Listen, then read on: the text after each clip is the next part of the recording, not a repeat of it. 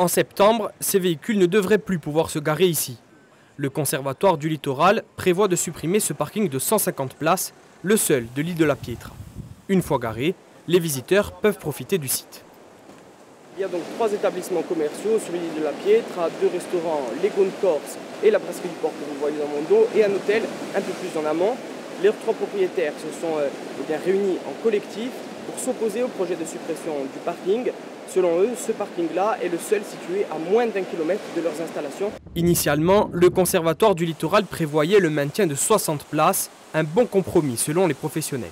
On pourrait vraiment euh, revenir à un parking euh, de 60 ou voire plus, hein, un aménagement agréable de l'île de la Pietra qui puisse convenir à tout le monde, aux plaisanciers du port, euh, aux riverains, aux, aux commerçants et à la population indoroussienne. Même s'ils sont d'accord sur le reste du projet d'aménagement, ces commerçants ont engagé deux recours devant le tribunal administratif malgré plusieurs rencontres avec la mairie. On a déjà eu des réunions de concertation. On leur a dit qu'évidemment, on les accompagnerait pour qu'ils puissent mener au mieux leur activité. Mais une chose est sûre, c'est que moi, maire de la commune, je travaille dans l'intérêt général et je n'influerai pas pour privatiser ce secteur, bien évidemment.